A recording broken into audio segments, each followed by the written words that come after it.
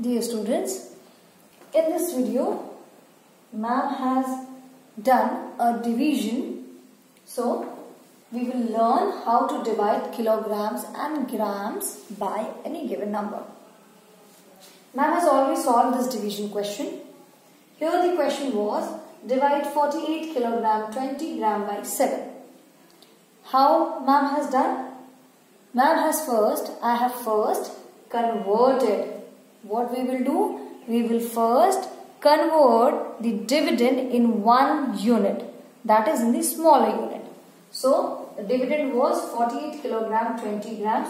For conversion, we multiplied 48 by 1000 to get 48 kilogram in grams. Then the, after conversion, the dividend becomes 48,020 gram. This is the dividend to be divided by 7. Here we have carried out the division.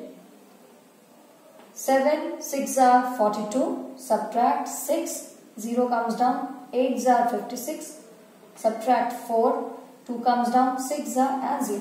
So the division is completed. We have carried out division in the same way as we carry out simple division. Now it's time to write the quotient. Therefore, the quotient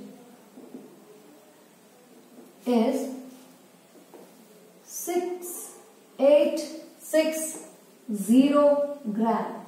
6860 gram. Or it can be written as 6 kg 860 gram.